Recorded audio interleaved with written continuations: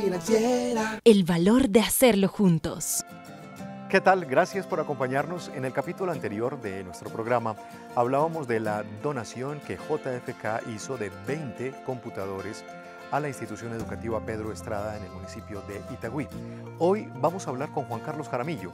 Juan Carlos es el subgerente administrativo de la entidad y con él pues precisamente queremos conocer detalles de lo que fue y serán estas y otras donaciones. Acompáñenme.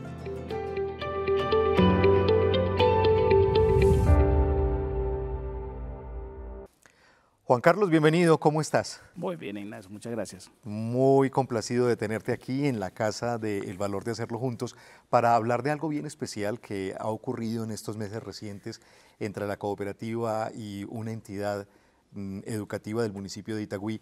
¿En qué consisten las donaciones de equipos de cómputo? Cuéntanos. Bueno, Ignacio, eh, muchas gracias por la invitación. Eh, realmente el objetivo de, de la cooperativa es entregar, reusar equipos que son de nuestra propiedad, que han servido a nuestra institución, pero que ya han cumplido parte de esa vida útil, renovamos nuestros equipos y de acuerdo al análisis de esos equipos, los vamos a entregar en donación a instituciones educativas y fundaciones que sirvan y que le terminen de dar esa, esa vida útil que esos equipos están en, en capacidad de hacerlos. Juan Carlos, ahí hay como un doble propósito. Por un lado está el, por supuesto, mejorar las condiciones educativas, las condiciones en las que muchos de estos estudiantes pues realizan su labor diaria y por el otro también la cooperativa muy en sintonía con toda una política de economía circular,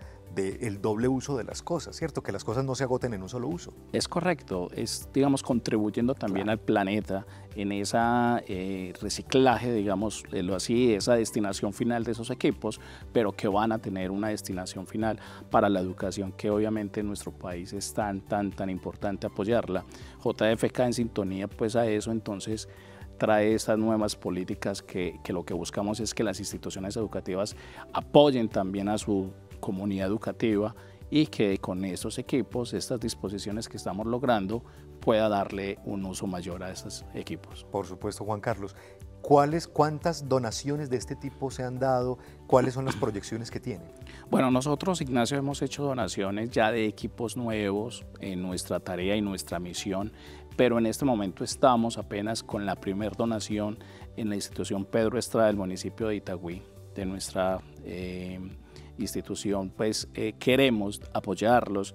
Entonces esta es la primera con 20 equipos pero tenemos en la este primera de equipos ya utilizados, de equipos pero en perfecto estado. Correcto, en perfecto estado la cooperativa los, les da un tratamiento para dejarlos eh, operativamente bien, ¿sí? les hace pues todo su tratamiento en muy buenas condiciones, pero es la primera de muchas que queremos hacer. También importante hacer claridad, eh, Juan Carlos, que el área de tecnología de la cooperativa avala esto y certifica la calidad en la que se está entregando esa donación. Es correcto. Estos equipos fueron eh, inicialmente tratados por el área de tecnología de nuestra, de nuestra entidad, los prepara y eh, antes de eso se los entregamos a las instituciones educativas listas para operar.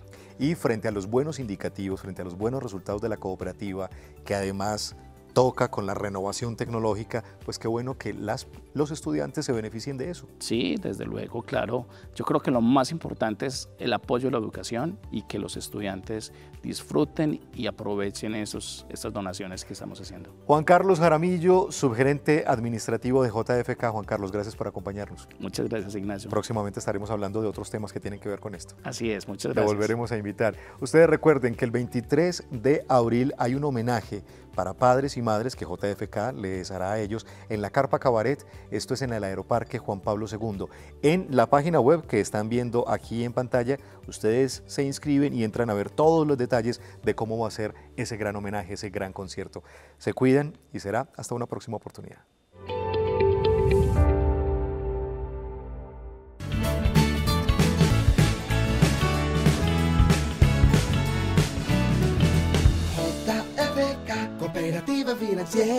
El valor de hacerlo juntos.